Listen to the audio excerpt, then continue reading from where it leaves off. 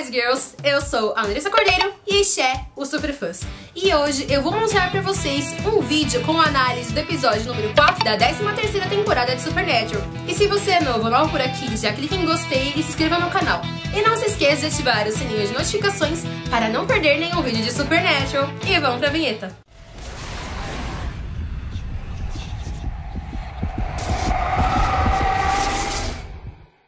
E o Dean está condenando de novo o Jack, chamando ele de anticristo, por causa dele ser filho do Lúcifer e tal. Mas sabe o que é engraçado? Quando ele conheceu o Jesse Turner da quinta temporada, ele não tratava ele desse jeito. E para quem não se lembra o episódio que Jesse Turner aparece, é o episódio na quinta temporada. Acredito que as crianças são nosso futuro. Bem que o Jesse poderia voltar, né? Já que tem tantos personagens voltando, só que a maioria tá voltando para morrer. Seria interessante se ele voltasse e não morresse. E quem diria que o Jack estaria apreciando Star Wars? O filho de Lúcifer está cada vez curtindo mais a cultura pop. E mais uma vez, os nossos Hunters vão disfarçados de FBI e utilizam referências. E dessa vez foram Agente Bugham, Seeger e Anderson. E é provavelmente uma homenagem ao Led Zeppelin. E o Dean chama o Jack de Sr. Spot, que é uma referência a Star Trek. E o dia foi salvo graças ao Jack super poderoso. E eu achei muito fofo quando o Jack se reencontrou com a Kelly versão metamorfo. E finalmente o Dean aprou o Jack pela primeira vez. E o Jack gostou, porque ele deu aquele sorrisinho todo feliz. Foi tão fofo essa cena. You did good today, Jack.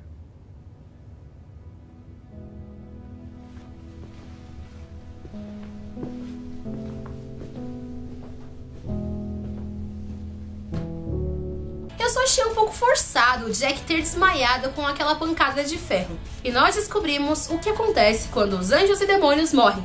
Eles vão para o vazio. E eu fiquei muito curiosa para saber qual era a verdadeira forma daquela entidade. E ela se julga ter uma forma muito assustadora. Eu particularmente fiquei bem curiosa.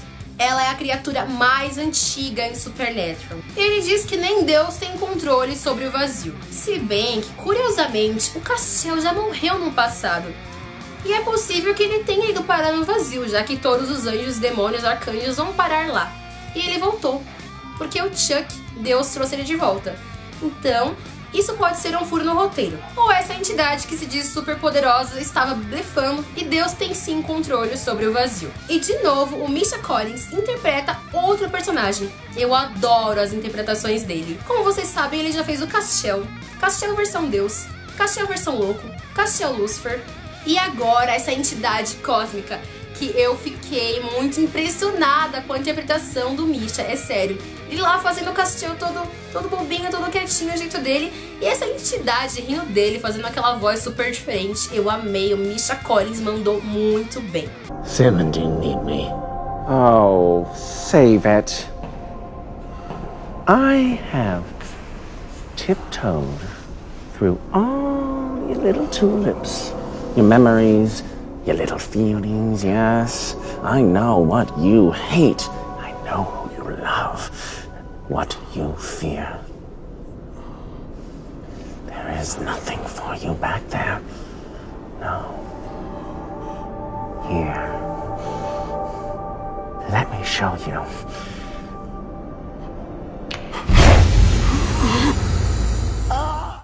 Entidade também afirma que nem o céu, o inferno e Deus têm controle sobre o vazio. Mas ele não falou nada sobre a Mara. E de certa forma, o Castiel despertou graças ao Jack. E quem diria que essa entidade aí do vazio iria também despertar junto com o Cass e iria trazê-lo de volta? Eu nunca imaginei que fosse ser logo uma entidade nesse lugar que fosse trazer o Cass de volta por não aguentar ele, ele lá enchendo e irritando porque ele queria dormir. Então foi uma coisa assim bem diferente que eu nunca esperava. E quanto ao Jack, eu estou achando ele um personagem muito bem construído. Ele mal apareceu e já deve ter muitos fãs. E eu sou uma, particularmente.